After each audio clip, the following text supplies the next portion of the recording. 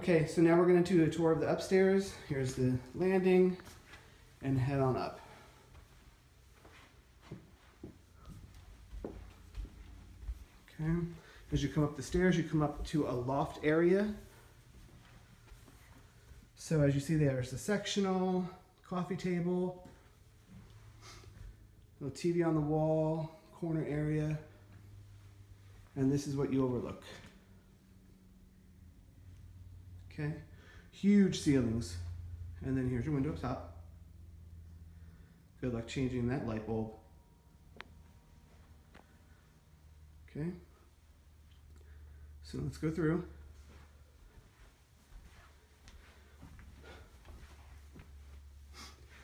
First of the bedrooms is on the right, and this is actually quite large. It's almost like a mini master.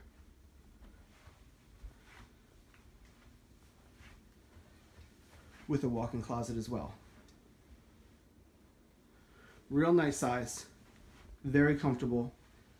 Don't think you'd have a problem fitting a king size bed in here. Okay, and as you exit the room, you go down the hallway. This is your air handler. Second bathroom with double vanity. And a door that closes to the tub and the toilet, which is a really nice feature.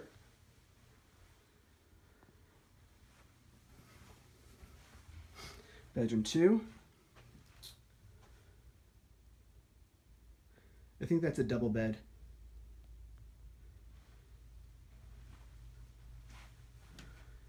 Regular size closet. Okay.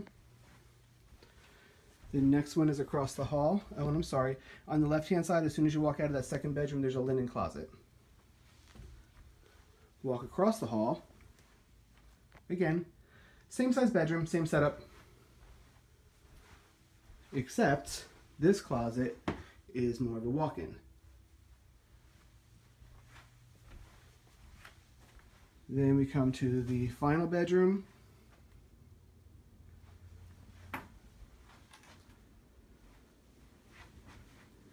And this closet is a long closet, like the other bedroom.